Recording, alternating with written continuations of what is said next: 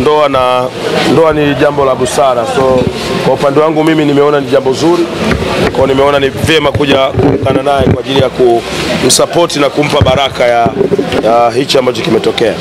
Yeah. Yes. sana Baba Levo, by the way umependeza sana leo. imependeza na hii yote ni anaitwa mtu mmoja anaitwa Supega. Asobana. eh, yeye ndio amesababisha muonekano huu Asobana maridadi.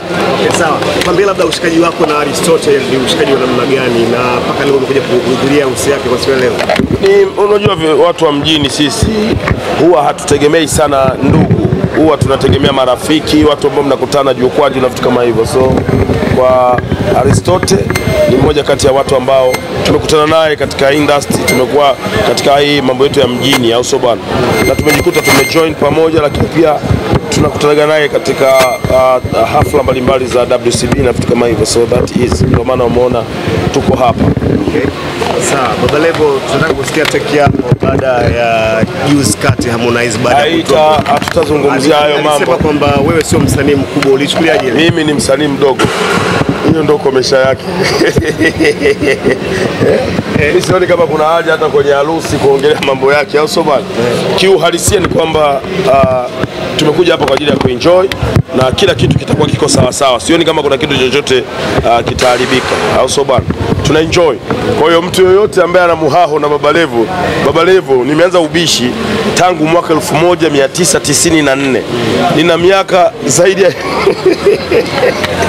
nina miaka zaidi ya ishirini na kitu katika swala la ubishi tu, miaka zaidi ya ishirini na saba. Kwa mtu yoyote ambaye an- anataka kubishana na mimi, tutabishana bishana bishana, na mimi sina kazi ya kufanya. Kwa hiyo tukianza ubishi ni asubuhi, mchana, jioni tunabishana.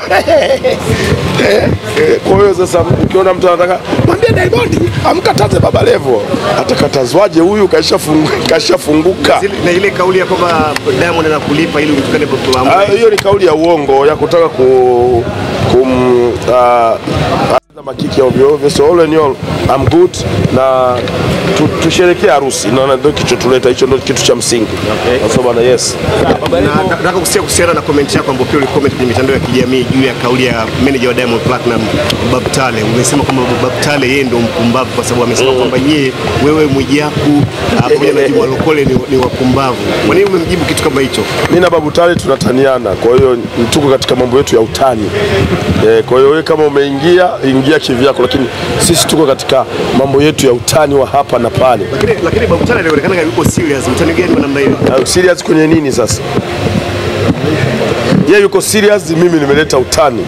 Sasa unataka lakini hujaonyesha utani, nimeona utani unaonyeshwaje kwenye maandishi? Yaani yani ya kucheka labda. uh, kucheka nini? Ile ile comment inaonekana iko serious sana. Serious. Comment itakuwa serious. Umecomment mwisho wa siku ukafuta tena. Yeah, kwa sababu si ndio utani huo. Kama ningekuwa niko serious nafuta nini? Na umecomment kwenye page nyingi sana za online. Alafu nikafuta kote, nimemtania kila kona ya nchi, alafu nikafuta kote. That is it. Yule ni bosi wangu, asije kanitengenezea mazingira aje nikafukuzwa kazi. Ndio mnachokitafuta, nifukuzwe kazi, nikaa Baba Levo amemshambulia Babu Tale na nini nini. Hapana, Babu Tale ni bosi, ni mbunge, tunaheshimu serikali, au sio bwana? Tunaheshimu mamlaka alionayo, uh, tunaheshimu uh, uh, nafasi alionayo kwa Diamond Platinum, so that is that enough kuhusiana na kwamba uh, alichokiongea kwamba tuache kuongea, jibu pekee la kumpa ni kwamba hatuachi. Tutaongea kila kona ya, ya nchi kwa sababu uh, walioyataka wameyataka wenyewe. Mmeona vyuma hivyo? Rolls Royce manini yaliletwa, watu wakasema oh, ni feki. Elelelele, bora mkuwakataza eh, sasa hivi wameanza kuishiwa maneno akatazwe Baba Levo.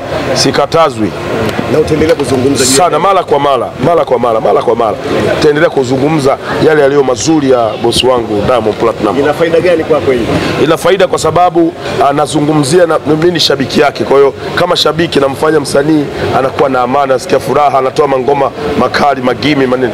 Albamu inakuja hapa, mtashuhudia vurugu kubwa.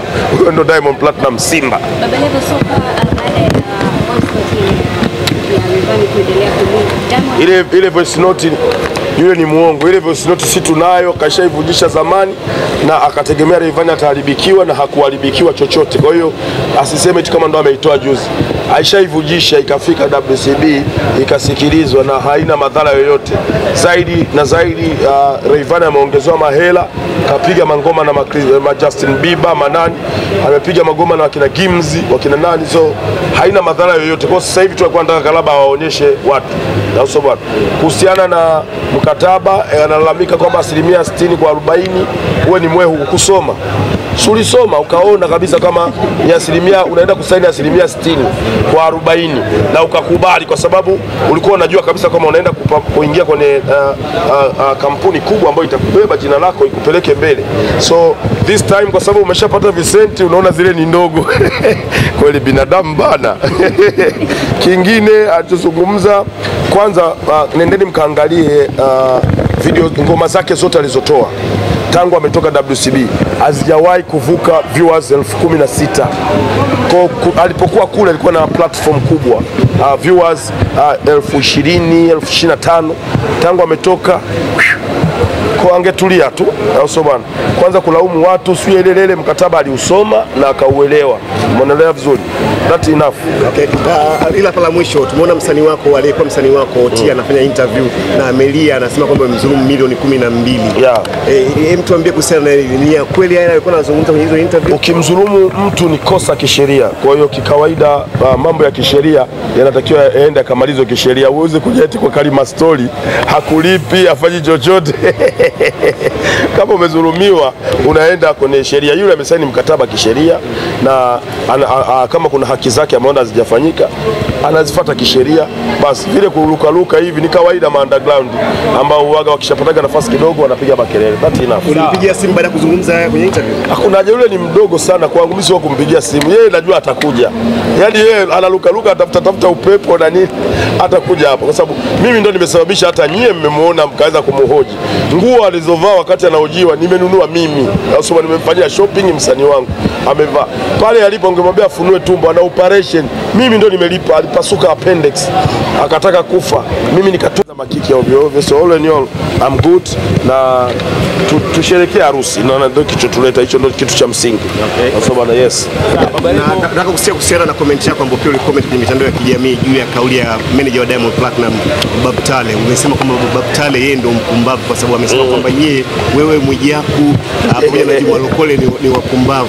Kwa nini umemjibu kitu kama hicho? Mimi na Babu Tale tunataniana, kwa hiyo tuko katika mambo yetu ya utani e, kwa hiyo wewe kama umeingia ingia kivyako, lakini sisi tuko katika mambo yetu ya utani wa hapa na pale. Lakini lakini Babu Tale alionekana yuko serious. Utani gani wa namna hiyo? Uh, serious kwenye nini sasa? Yeye yuko serious, mimi nimeleta utani. Sasa unataka lakini hujaonyesha utani, nimeona utani unaonyeshwaje kwenye maandishi? Yani Yaani ya kucheka labda. uh, kucheka nini? Ile ile comment inaonekana iko serious sana. Serious. Comment itakuwa serious. Umecomment mwisho wa siku ukafuta tena. Yeah, kwa sababu si ndio utani huo. Kama ningekuwa niko serious